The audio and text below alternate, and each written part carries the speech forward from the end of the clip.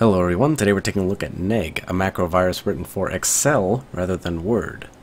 I like this one quite a bit because with Excel there are different ways to hide your work and this macro virus employs some pretty interesting techniques to try to avoid detection by the user. As you can see here we have three variants, we have B, C, and E. We will run each one and they will all infect Excel and so we will end up with a very thoroughly infected spreadsheet before the end of this video. We will go ahead and open the B variant, and nothing much appears to happen. We have our spreadsheet open. We can navigate to our macros. We can see here that we have three macros in this file, and three in a file called lore.xlm. However, we do not see that file anywhere. But thankfully the virus does not lock it down, and we can jump right into the code and see what's happening. So we have some nice credits here at the top of the macro.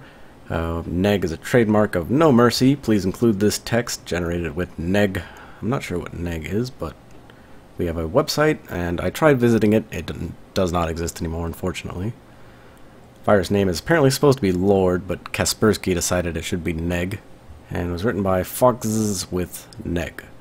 So, moving right along, and moving Clippy right along out the way, we can see in this code that it employs one technique it uh, actually checks to see if lore.xlm is running and creates this as a hidden worksheet. And this is where it actually infects new worksheets, and if this is running, it's able to infect other stuff that is happening in Excel. So in the sub fuck, we can see that it turns off screen updating so you can't see what's happening. It activates the lore.xlm window and makes it visible, activates it, makes sure that the sheet is visible, and then copies it to your current workbook so that it is infected and then turns them all off and makes them invisible and then reactivates screen updating. So you won't see this actually happen, but it will actually create this worksheet, attach it to the one that you're attempting to use and infect it, and then hide everything that it did. And we can actually see this if we go back here, we go to window and unhide, we will see we can unhide the workbook Lord where we now have two workbooks open, and this one is just trying to infect everything that runs. And finally, we have a payload for this variant. Close out of it real quick here. We close one, it closes both, and we'll change it to the first of the month. Run it again, and close. It says, get the best Excel scanner, NVT98. So, pretty much referring to antivirus software, get the best antivirus scanner you can get, because you're infected, dude. Press OK, it goes away. We'll move along to neg E now, and uh, we get some interesting notice from Excel that blah blah blah, we don't care, macros aren't stored in the document, and we can see this is a sacrificial goat file from Sophos, and once again we can take a look at our macros, however we seem to be gaining some. We've got Lord running because it appends itself to every Excel spreadsheet we open, but now we've also got neg.xlm, which is also infecting everything that we open. If we edit it, we can see it attempts to uh, hide everything we were just in. Uh, it did not successfully delete all these menu bars because we are right here viewing this code.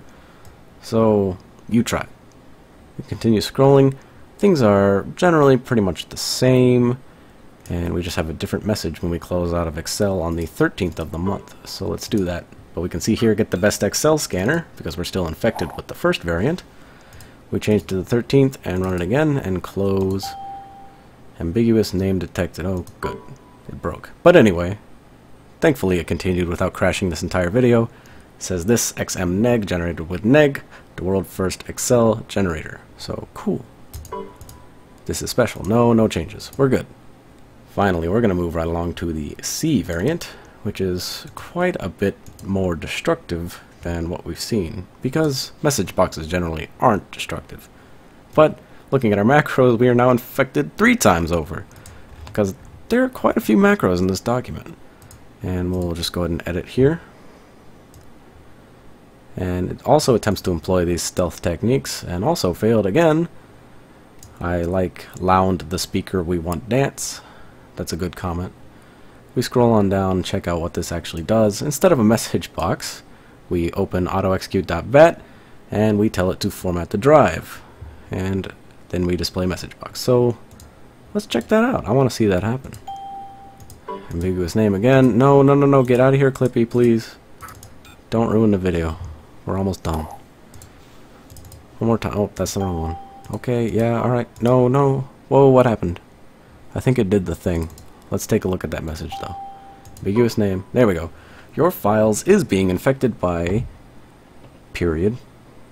Virus ADHIFS. For detailed information about us, please visit me at GeoCities. Oh no, it's gone.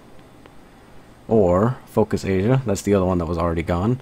Or contact person at Muwara Virus Riders at 0341462989 with Mr. Nawaw. Na Nawa?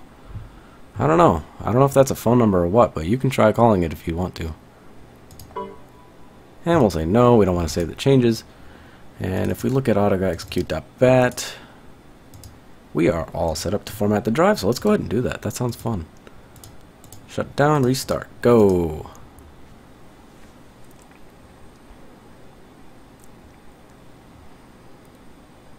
So the hard disk activity indicator is going nuts.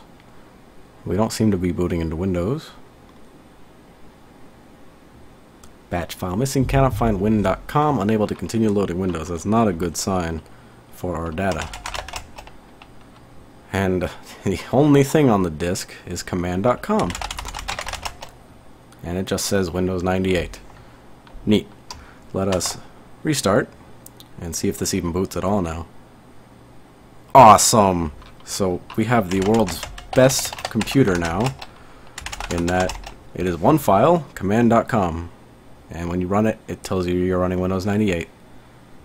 And that's, that's all I want in a computer. So that is about it for Neg. Thank you very much for watching. Take care.